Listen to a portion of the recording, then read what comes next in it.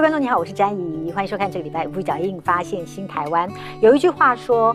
花若盛开，蝴蝶自来；人若精彩，天自安排。而今天这个主角呢，如果要说精彩，应该是说他人生过程当中挫折不断。之前尝试了各种事业，最后他决定要在阿里山山脚下种有机树玫瑰。而这种树玫瑰跟一般的玫瑰花不完全一样，在过程当中他用尽了各种方法尝试，吃尽了苦头，但是。在努力认真之后，不认输之后，天自安排，而他也终于有了精彩的人生发现。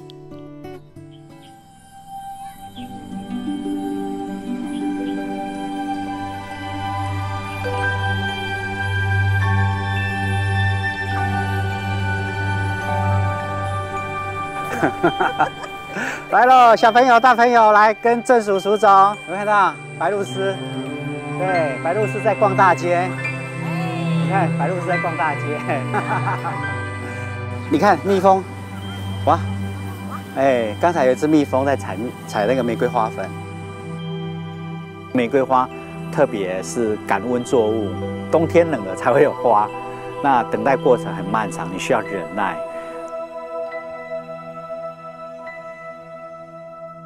有一句话讲得非常贴切，叫做。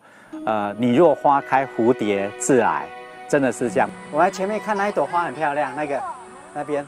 郑宇超说的是花，也是自己的人生。没有那些年的波折，就没有现在嘉义阿里山脚下这满园子的芬芳，让他能带着游客认识生态和不同于一般切花玫瑰的树玫瑰。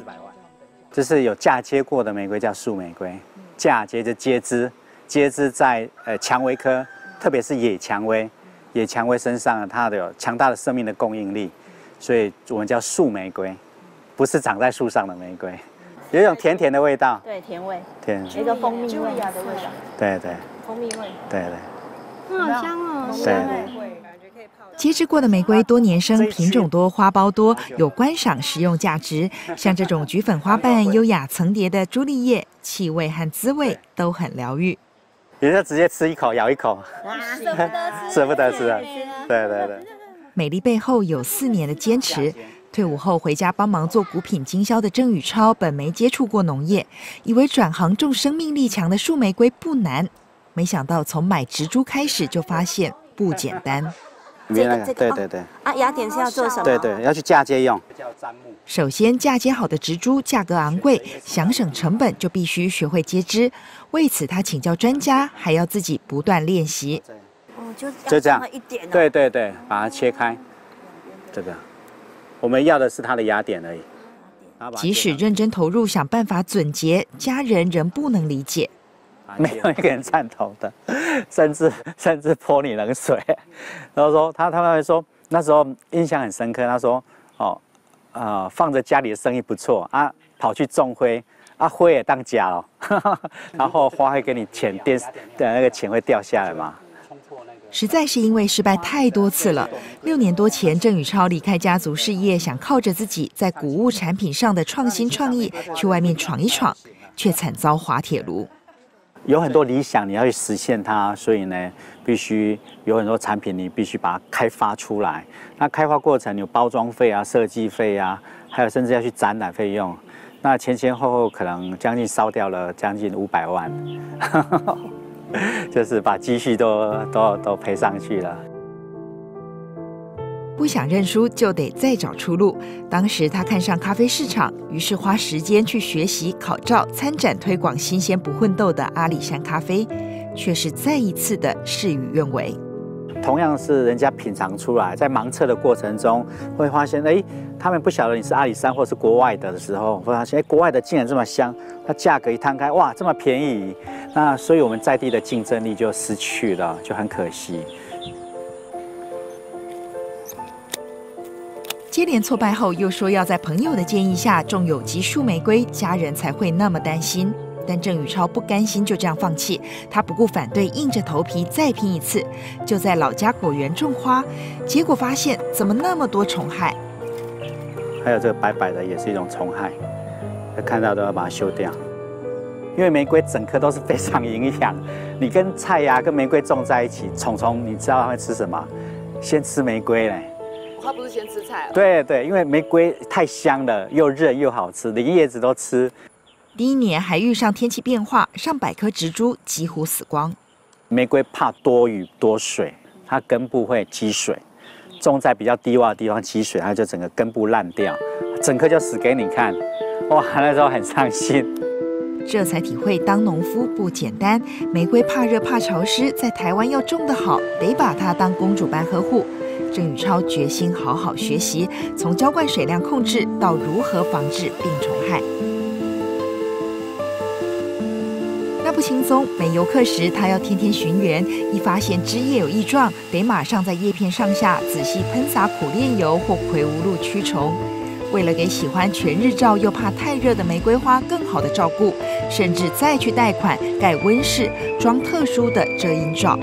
这个遮阴网很特别，是来自日本的遮阴网。慢慢的花健康了，收入和付出却不成正比。调试了两三年，不容易。你说，你说，你说很好调试，那是骗人，不可能的。一定会遇到内心的挣扎，特别是收入不平衡，有机的产量是减少一半以上。拿篮子嘛，哈。他必须再想办法。还好妻子一路支持，夫妻俩想着如何把营养的玫瑰做更多加工利用。有遇到它里面厚含苞，要把它剥开。嗯，太厚了。对对，它烘不干，这样它干燥程度才会完全。他们把采收下来的树玫瑰分级，绽放程度七成的完整花朵，花型漂亮，香气浓郁，适合整朵烘干泡茶。花型小或花瓣不完整的也不浪费，可用来蒸馏成纯露。但起初失败连连，蒸馏出来的香味怎么不一样？对，不一样的香。不是想象中那么香，然后就就不断的去找书籍研究，哦，然后请教前面的一些专家师傅，然后那个参数怎么去调整比例。铜锅蒸馏的好处就是说，它的导热比较快，导热快就是萃取出来的玫瑰的纯度会比较香甜。为了做到最好，他从锅炉选择到时间调配都讲究。早上采的一定趁新鲜马上蒸馏，过程中还小心翼翼用胶带封住接口。就是衔接的地方一定要把它封起来，这样蒸汽就不会跑出来，花就比较不香了，因为那个蒸汽就是花香味。二点五公斤花瓣要取三千 CC 纯露，至少得花两个小时。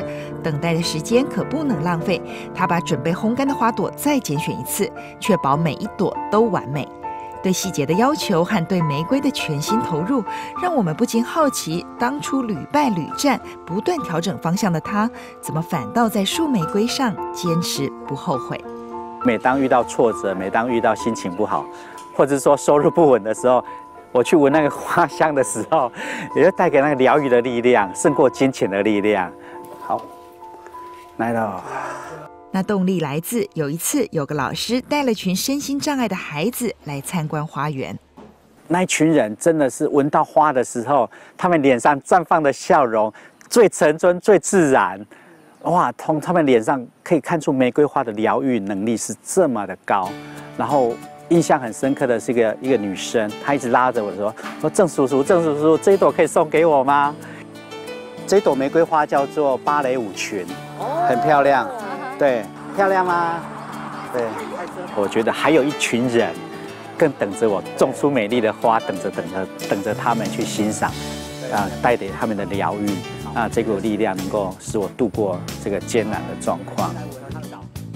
在漫长的磨练中，披荆斩棘，慢慢走出一条路的郑宇超，也终于领悟到，原来事业成功的定义不是金钱收获而已。以前虽然如果假设你有赚到钱，是自己开心嘛，家人开心而已，但是问题，但是现在呢，不是哦，现在不一定赚得到钱，但是发现大家都喜乐了。